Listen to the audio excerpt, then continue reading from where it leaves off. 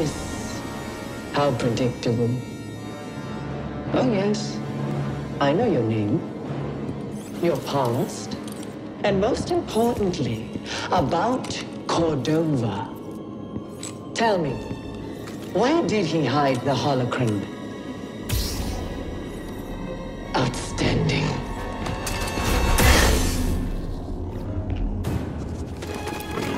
I've suffered far worse.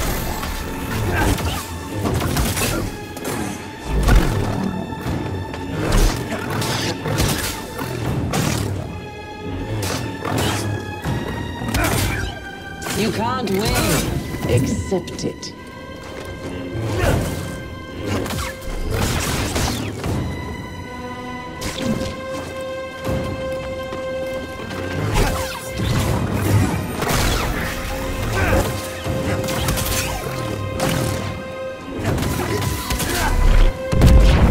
Sluggish.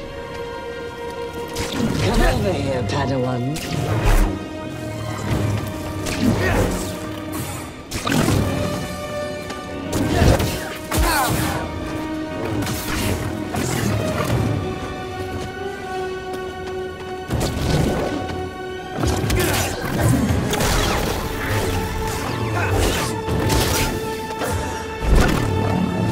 That was nothing.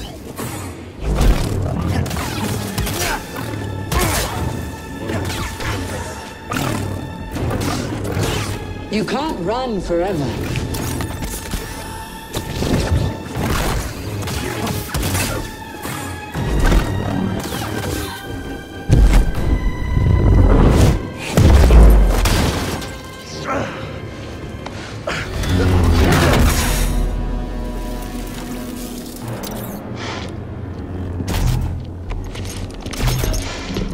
You're learning.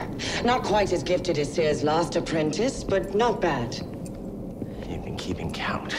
I'm surprised she didn't tell you. Cere was never good at keeping secrets. And you know her so well, huh? She was weak.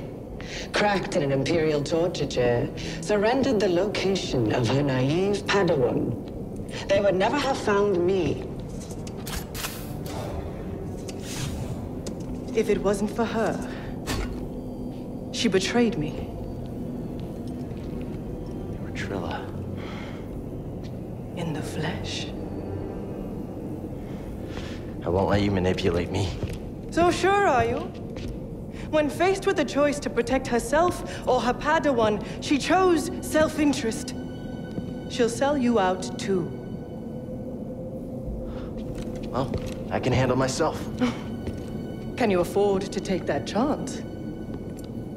Your new master harbors great darkness. The look on her face when she saw what they had done to me, as I am now.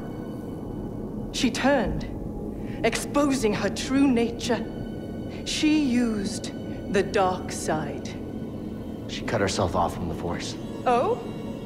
How long before she cracks and betrays you too? Is that who you want beside you when you find the holocron?